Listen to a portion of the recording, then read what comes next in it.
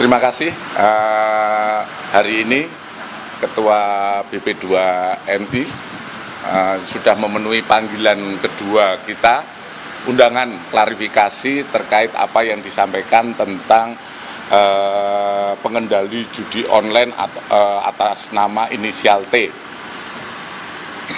Pada minggu yang lalu, beliau sudah menyampaikan uh, pemeriksaan sebanyak 23 pertanyaan 23 pertanyaan tersebut sudah dijawab namun tidak menyebutkan inisial T. Kemudian hari ini dilanjutkan pemeriksaan, namun ada beberapa hal yang oleh yang bersangkutan dirubah pertanyaan di tanggal 23 yaitu terkait materi eh, yang pertama menyampaikan. Kalau pada awal mulanya kemarin pada 23 Mei itu menyampaikan dari salah seorang ataupun korban eh, pekerja migran yang dari bang, eh, dari Kamboja sekarang diralat bahwa info itu didapat dari saudara Joko Purwanto yang kebetulan yang bersangkutan adalah ketua BP2 MI dari Serang dan saat ini sudah meninggal. Kemudian kami, perta kami pertanyakan terkait inisial T. Yang bersangkutan tidak bisa menjawab siapa itu Mr. T.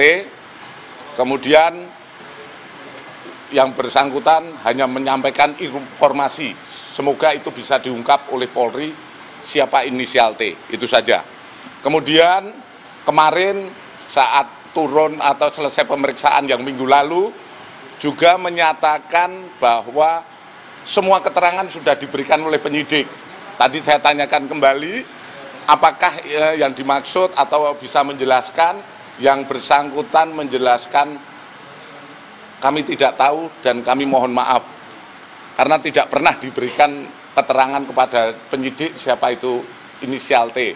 Dan tadi yang bersangkutan menyampaikan kami akan mohon maaf langsung melalui media tapi lebih lanjut silahkan tanyakan pada beliau. Itu saja sementara. Artinya tidak ada bukti, kemudian itu juga cuma praduga begitu ya Pak? Tidak ada bukti, bahkan inisial T pun tidak bisa disebutkan oleh yang bersangkutan. Pak, dari penyelidikan sendiri Bapak melakukan sendiri nggak Pak polisi selain memanggil Pak Beni? Ya tentu saja kalau polisi kan berawal dari siapa yang mendalilkan dulu. Dia yang mendalilkan inisial T, seperti yang sudah beredar, tentu saja kita kepingin penjelasan dari situ. Pak, ketika tidak ada penjelasan dari yang bersangkutan, apakah nanti ada konsekuensi hukum uh, terkait pernyataannya itu, Pak? Konsekuensi hukum, kita lihat, kita lihat nanti kita analisa kembali apakah keterangan-keterangan itu bisa dilihat apakah itu menyebarkan berita atau lain sebagainya yang tentu saja ini akan kita dalami. berita bohong maksudnya Pak? Nanti kita lihat ya. Pak, salah satu sosok yang beredar kan Tommy Hermawan betul nggak Pak? Sudah dikantongi belum Pak? Yang beredar di media sosial begitu kan? Oh nggak benar karena yang bersangkutan yang menyampaikan inisial T itu ternyata juga nggak ada. Dari mana? Dari Pak Joko Purwanto. Pak Joko Purwanto saat ini sudah meninggal. Kami akan mengklarifikasi kepada siapa itu nanti.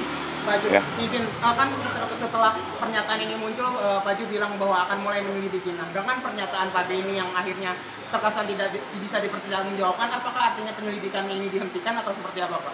Kita lihat nanti ya, nanti keterangan lebih lanjut, apakah ini juga akan kita gelarkan, akan kita analisa bersama, tapi yang jelas dari sumbernya saja sudah tidak bisa menyebutkan siapa T.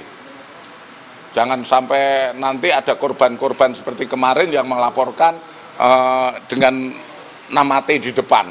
Ya. Jadi dari dua pemeriksaan ini sudah nggak ada lagi yang bisa diklarifikasi uh, pertanyaan ke Pak Beni.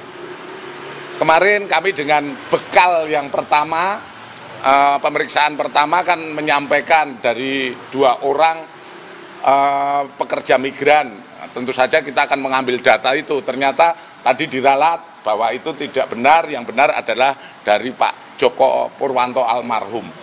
Jadi sampai sekarang pun tentu tidak bisa kita buktikan siapa T dan Pak, kita tidak bisa berande-ande. Pak, ya. Pak Beni kan sempat bilang bahwa T itu kan sempat diumum, dibilang di depan Pak Jokowi dan Pak Kapolri apakah di pemeriksaan tadi juga ditanyakan apakah benar uh, T itu disebutkan saat ratas itu Pak? beliaunya menyampaikan tidak. Kamera Pak. Beliau menyampaikan tidak eh, disampaikan secara lugas siapa itu Mr. T. Untuk apa kita perdalam lagi kalau yang bersangkutan yang mendalilkan tidak mengucapkan tersebut, ya? Si Pak Beni itu menyebutkan sosok T ini apa motivasinya Pak? Karena kan beliau juga tidak mengakui pada akhirnya gitu Pak.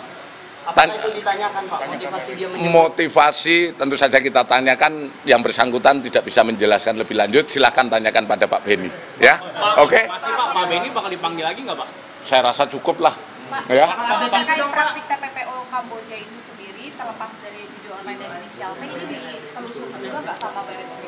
Kalau terkait TPPO, setiap kita ada laporan ataupun kita terus berkoordinasi, baik itu dengan Kementerian Luar Negeri, seandainya ada pemulangan pun kita selalu selalu melaksanakan pendalaman. Tidak bukan hanya karena Pak Beni menyampaikan seperti itu kita berbuat, selama ini sudah berbuat, ya. Tapi sejauh ini di praktik-praktik TPPO itu memang ada yang dijadikan operator judi online?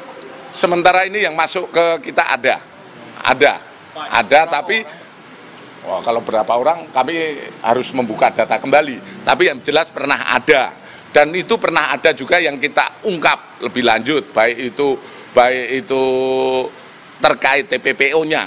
Tapi kalau terkait yang berkaitan yang disampaikan terkait yang Pak Beni jelaskan sementara belum ada. Ya. Oke? Oke?